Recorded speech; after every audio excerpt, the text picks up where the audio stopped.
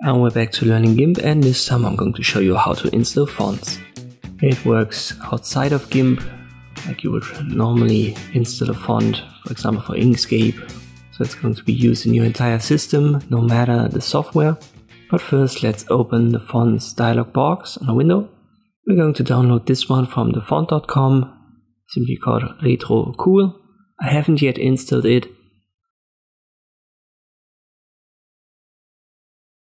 So here is the zip folder. Just extract everything. A new folder opens up. In this case, I use this open type right here. You can right click and install for all users. Or you can double click on it and then find the install button right here. By the way, don't get confused, my system is set to German, so it's a different language, but it works the same way in English. Let's get back to GIMP.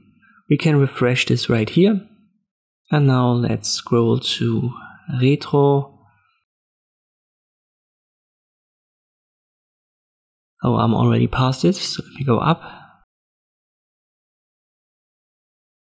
And here you can see it. So we've got it installed now, and we can use it with the type tool.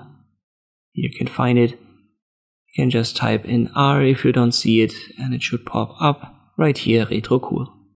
So as I've said, if you install the font inside of your entire system, just refresh your dialog box in GIMP and you should find any font that you've had installed.